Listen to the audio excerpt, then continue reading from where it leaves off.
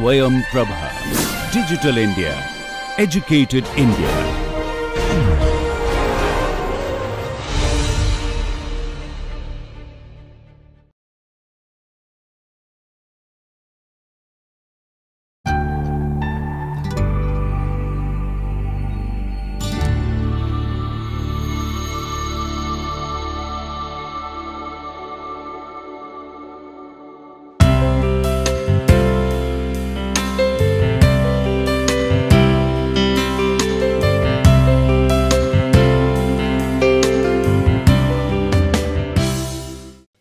Everyone, welcome back again to online NPTEL course on structure, form and architecture, the synergy. Uh, today we are at lecture number 33 and we will be discussing on uh, different structural form and architecture in flood prone area. So, before starting this lecture just let us quickly recap uh, the things we have discussed in last two uh, discussions that is the structure for the windy area and earthquake prone area. So, how we can make our building safe during that hazard and different structural system, different uh, building shape considerations are found to be instrumental and like that we will be getting some insight uh, in this discussion today uh, where we will see the you know building form and different technology by which we can make our building uh, little bit resilient to the flood uh, vulnerability. So, let us get started. So, what is a flood? So, we all know and recently in this year we have seen if you just search by the flood in 2019. So, you will get uh, many such pictures you just go to Google image and you will get uh, the image of the flood scenario and I have picked up this one. So, in this slide what we can get uh, few uh, definitions or just concept of that. So, flood is an overflow of water that submerges the land that is usually dry. So, flood is a condition where it is a waterlogged situation uh, and due to uh, the overflow of the water it may be uh, due to the overflow of the river mostly that the case. Sometimes it may be some unprecedented rain which will just uh, you know submerge the city if the drainage system is poor and then that may be very much catastrophic unexpected and sudden storm can uh, also like create this kind of situation and recently if you just search about uh, some flood scenario in recent time like Patna in India. So, it is uh, basically uh, some rain that uh, is that has happened after a long year and the whole city that affected badly. The primary effects of flooding include the loss of life, uh, it is a direct one where is a heavy flow that blown away the people that may or it may be something where uh, it is uh, the after effects like during the flood there will be more uh, problem with the health and then that may lead to the life loss. That also damage the buildings different property different infrastructure. Uh, so, we will be focusing on the building in this lecture, but uh, yes this flood scenario will essentially be a threat to reduce the economy. And also it provokes the secondary hazards such as winds. If you, if you see in this slide uh, the wind storms then lightning slope instability ground settlement due to that liquefaction that we have uh, just discussed in uh, like um, in the previous lecture of the earthquake. And here you can see the pictures uh, where it is very badly waterlogged situation. And then you can imagine that problem one may face where it is really area is flooded. Coming to the uh, flood problem and the fundamentals the flood load uh, that is there. So, whenever there is a waterlogged situation, so uh, water will try to pass. So, it will have a direction, it will have a flow with a slope natural slope and on its way if it gets some obstruction definitely that will create some thrust here and at the opposite side it will uh, have a negative pressure or the suction like the wind. So, again here if you can see the direction of the flow and then the opposite side it will have the problem. So, lateral forces resulting from static and dynamic water pressure in flood situation is very dangerous and it may be really catastrophic and here you can see two such images where you can see the heavy flow of water how it really damaged the building and it is a total collapse and you can get such example uh, many numbers uh, if you just search.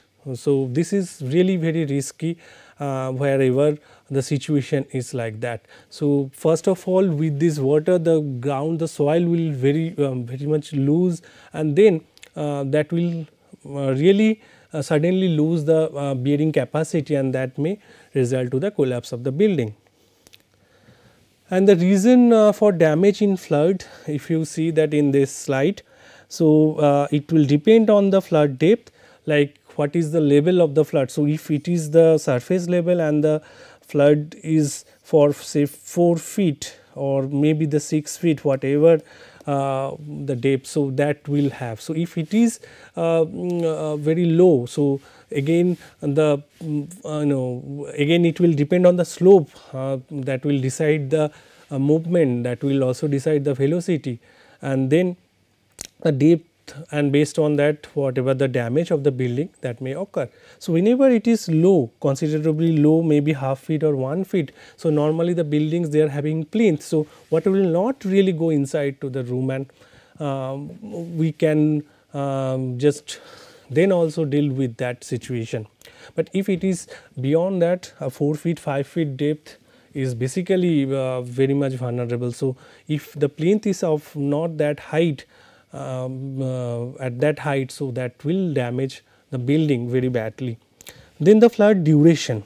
So, if we have very proper drainage system or some mechanism to ease off the situation. So, then the risk will be less, but if there is a very bad infrastructure or there is nothing to do, the duration is so long. So, for last 7 days or something the situation uh, exists, then the damage and loss will be more. Then uplift due to the soil saturation that is also relate to the um, your uh, liquefaction. So, uh, whenever a flood state for a longer duration. So, this kind of scenario will happen then horizontal force created by the flood waves or current. So, this is basically what you can see in these two image and whatever I have described here the uh, direct thrust and the negative suction at the back uh, where uh, the flow is being obstructed by a building. The flood water can submerge building and cause various degrees of damage from you know straining the wall to the structural collapse. So, gradually it will create the strain in the building it will deform the uh, uh, building and then that will collapse and it will also depend on the depth of the flood and the duration of the flood and also the type of the building. If your building is kacha type, normally if we consider the case of the rural area, so normally uh, they are making the brick maybe uh, made, making of uh, made of earth or maybe sometimes it is uh, like uh, some kind of you know admixture as cement to that. So, they will be more vulnerable uh, because they will not have that resistance to deal with that flow and the thrust provided by the you know water. Uh, but compared to that if you have some structure of RCC or maybe some very strong material that can uh, again resist something provided that the foundation is well anchored and then uh, the duration is not that much even if the duration is too much the subsoil will get uh, liquefied and then even the strong building will collapse and they just uprooted uh, from that.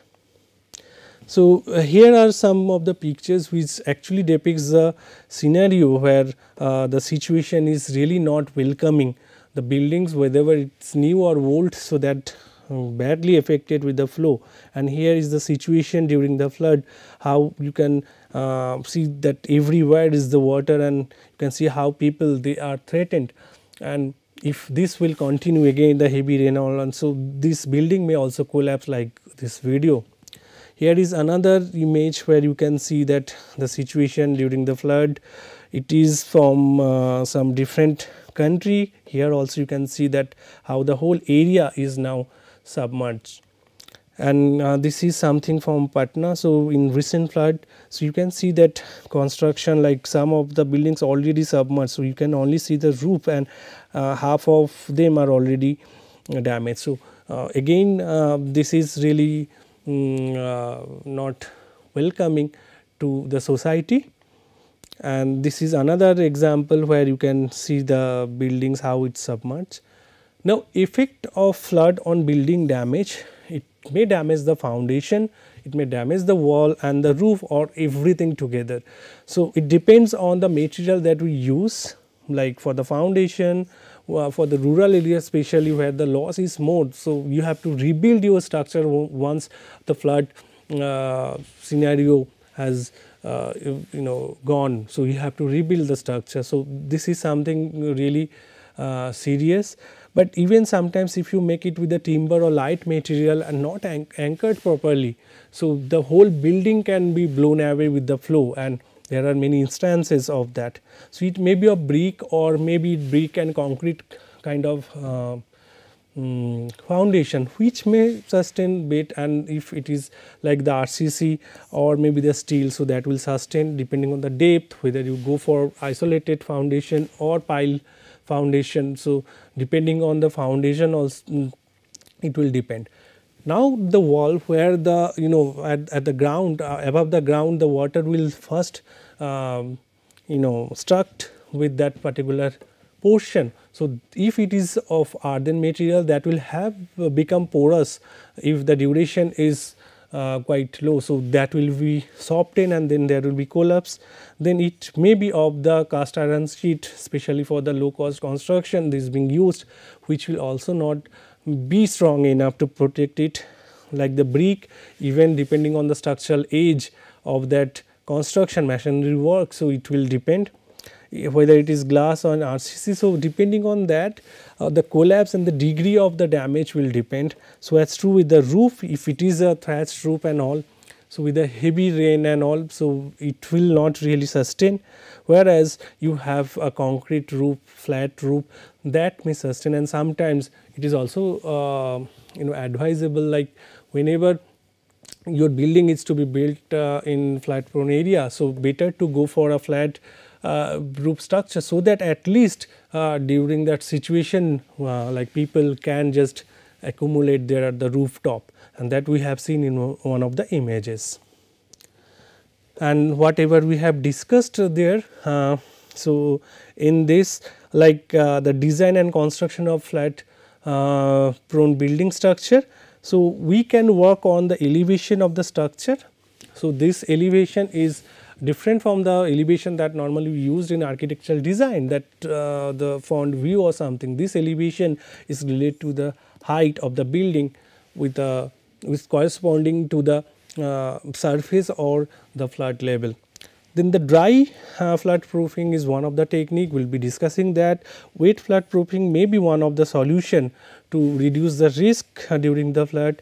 It may be the flood walls that being constructed to protect it to certain level it may be the levee that we can create uh, uh, to control it and then another is the anchorage and connection. So, whenever you make any light structure that should be anchored uh, very perfectly uh, with the foundation and if you make your structure with different materials. So, those connections uh, joint should be proper. So, beam should be well connected with the columns and columns are well connected with the footings and then the so as for the roof uh, or the ceiling or the floor. So, that is the there. So, we will go one by one to just see what exactly uh, it means the dry flood proofing or the wet uh, flood proofing and we will try to understand.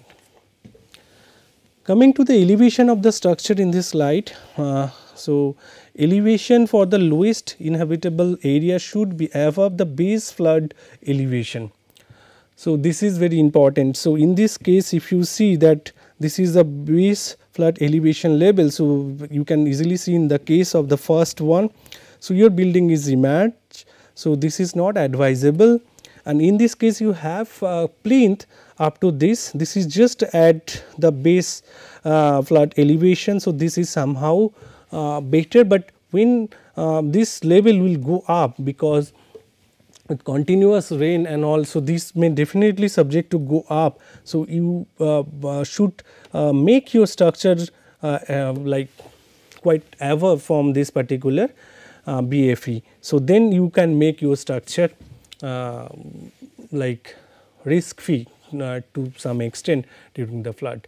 But definitely when you make your building little bit raised from the surface, uh, maybe this is uh, the you know the land surface. So, when you make this plinth of that height definitely cost will be additional.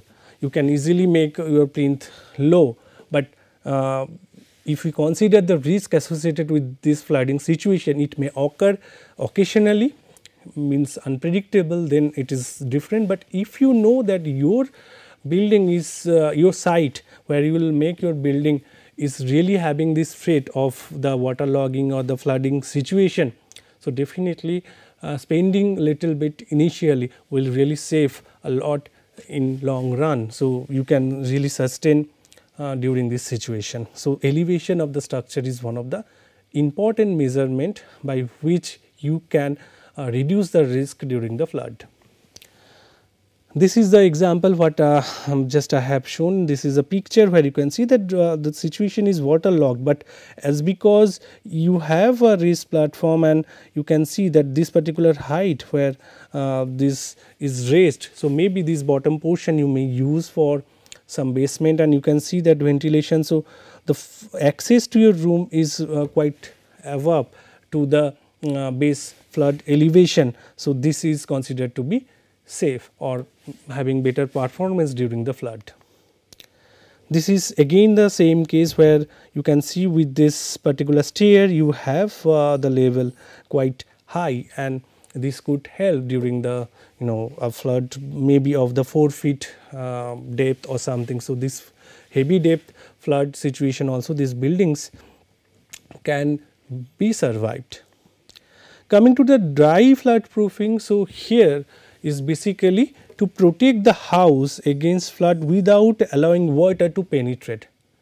So, we make our building okay we do not allow water to pass on. So, we, we make our building so strong that it will resist that particular flow. So, that is uh, something where you can use some additional foot uh, flood panel. So, this flood panel uh, will protect that uh, direct uh, thrust of the flood uh, water uh, towards that building and even here you can see like uh, the doors and other thing is uh, being protected with a movable shield which will be removed when the flood level reduced and then the risk will be um, you know reduced or that will be lowered down. So, in this case we will not allow any water to penetrate. So, this is the dry flood proofing technique uh, that we can adopt. This is another picture of that where uh, this being protected. So, this is removable and this is the entry. So, uh, this is already being made with some you know plinth made of some stone uh, which will not really allow to penetrate the water we have to remember if you go for the masonry work or the brick work it will be porous so that may also uh, affect uh, that may also get affected but whenever you go for this plinth of stone or RCC that will be but wherever there is entrance you cannot have this plinth and then you can go for with this flood panel. So, this is the way we can go with the uh, dry flood proofing.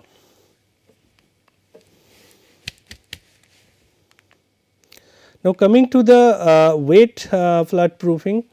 So, in this case we will just take that okay there is a flow of water let water uh, flow will not disturb and there will be and that if that flow is not disturbed that will not also disturb us. So, the concept is to allow water to pass on so that is why it is called uh, wet proofing. So, here what you need to do you do not need to make any plinth as such you have to make your structure still. So, stilted structure to be made where uh, you know this is having a good height considered to the uh, base uh, flood elevation and then allow water to pass on. So, in this case uh, this being made and here is uh, whenever there is no flood situation uh, we may use as a basement where the basement and this kind of structure being made and during the flood situation as because the flood is not very uncertain like earthquake.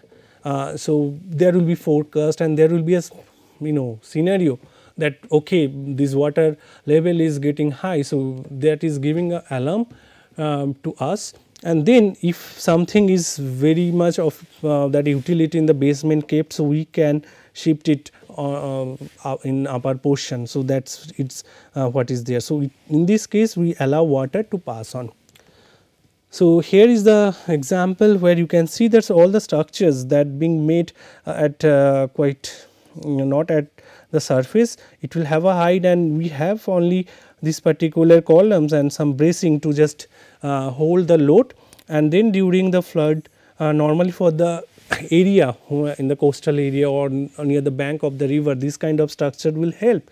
So, uh, during the flood levels water can pass on and then there will be no such damage. So, this can be one of the way out uh, during this uh, flood scenario. So, wet flood proofing is uh, one of the option. So, this is another um, uh, same uh, you know uh, example under this wet flood proofing where you can see that in absence of the flood scenario that may be used as a parking and all and then these are the you know panels that is removable during the flood we can remove it so that water can easily pass. So, whatever the direction there will be a predominant direction depending on the slope. So, everything is well calculated that if there is a race so where from the water will go and in which direction accordingly this can be oriented. So, this could be uh, helpful. So, this wet flood proofing technique may be adopted and um, that will reduce the risks during the flood. Coming to the flood walls, it is not the building. So, will not allow water to enter to my campus, enter to my own premises. So, then we create some RCC wall or some wall of the you know uh, some some metal which will not allow water and they will have a considerable height and then whatever the uh, water uh, locked in my uh, premises so that will have some you know pumping system which will plus out the water outside. So, by which if we create the boundary uh, well sealed during the flood so that may also sustain. So, a boundary uh, waterproof or flood proof boundary wall or that is also referred as the flood walls will be helpful. So, here you can see that uh, how this can be. So, this area is basically having this you know water and uh, this is very dry. So, with the help of this panel and then um, the continuous uh, you know barrier. So, this will act as a flood uh, wall and that will protect. So, that similar kind of system we can adopt. It is uh, maybe a temporary structure or we can make the RCC wall so that uh, will reduce the risk during the flood. Now coming to the levee, so here it is not basically the wall form, this is a uh, dues that we can make a bump uh, we can create a natural slope with some kind of soil so that will not allow water to come inside and whereas again like uh, the previous example. So, whatever the water accumulate within my premises we can just uh, you know drain out that water with a pump uh, to this site. So, that by this also we can make our structure safe not the wall uh, just a mount. So, here you can see that this is a railway track and there is some water body and this is being protected. So, if there is increase in water during the flood, so this will uh, initially help to not you know overflow this water to, uh, to this site. So, this is the profile is being maintained like this. So, where water uh, rise. So, this being calculated what would be the maximum uh, flood level uh, for uh, rainy uh, scenario and based on that this uh, levee can be created so that the other side will get the protection. So, this can be used for the road, it can be used for uh, city boundary like a initial like uh, similar to a dam, uh, but that can also be used for like where we do not prefer to have a boundary wall for my building we can use this. Along with that sometimes we also use that flood barrier. So, it is nothing but a tube. So, this tube is filled with water and that will have weight. So, that will have enough strength to just resist the flow of the water and that can really help. So, this is a hollow balloon like structure we either can put air uh, or else we can put some uh, water already. So, that will act as a barrier uh, during the flood. So, we may have the flood wall as a system, we can use the levee, we can also have this temporary tube that may act as a barrier. Now, coming to this uh, anchorage and the connection. So, here uh, what we need to remember that design should be uh, like that which uh, to be designed and executed to withstand the influence of vertical load, uplift force and lateral loads. So, vertical loads uh, definitely that will uh, happen whenever like there is some um, you know force acting on it and there will be some uh, saturation soil saturation scenario. So, there will be some kind of uh, change in the subsoil. So, we have to make it very strong. So, they should should not be something like where the building will tilts and then the foundation that will come out. So, that should be anchored properly Beam shall be connected to the piles, columns, piers to the foundation uh, accurately so that they will act very you know strongly against that particular load uh, whenever it is applicable during the flood scenario. Then sufficient anchorage need to be installed for the storage tank and other sealed conduit pipes and other thing because with the motion if this anchorage is not there, so that will be blown away. If you have a water tank just in your premises um, or uh, somewhere like it is at the top of your rooftop, but it is just simply placed. So, wherever there is a heavy thrust or so, so heavy wind thunderstorm that may also create the problem. If it is like a conduit pipe and all, so that is also exposed, uh, so that may damage. So, if there is any leakage, so that may also uh, get affected during the flow of water uh, and in flooded situation and then definitely that will create multiple problem for the drinking water or the daily services and that create the environment really unhealthy. So, we should avoid that scenario with a proper anchorage. Now, coming to the summary, here we have seen that again the flood is something where it is uh, the overflow of the water that may cause due to the overflow of the river or it may be um, like due to the unprecedented rain in, in a closed form where the drainage system is not adequate. So, all of a sudden heavy rain and storm will make the scenario. And then the, uh, the it will affect the foundation, it will affect uh, the your wall, it may really affect the total building as a whole. And then what we need to do basically we have to just uh, make us ready, we have to prepare ourselves to uh, reduce the risk of that. And there are different ways that we have seen in this discussion by which we can uh, reduce the risk. One is uh, the raise the elevation is the technique. Okay, so, where this elevation should be your base flood elevation and like increasing the plinth this is one then we have also uh, seen the dry flood proofing technique where like we will not allow water to penetrate and for that whatever the openings and other uh, elements are there. So, we have to protect with a uh, you know movable uh, flood uh, panel. So, that will help. So, whenever there is no risk or risk is uh, now not at that level. So, then we can remove it then we can go for a wet flood proofing. So, in wet flood proofing uh, it is contrast to the dry proofing. So, we will allow water and that is why we take our building uh, at different heights. So, water can easily pass through and whenever there is uh, no water this can be used as a basement, this can be used as uh, your parking etc.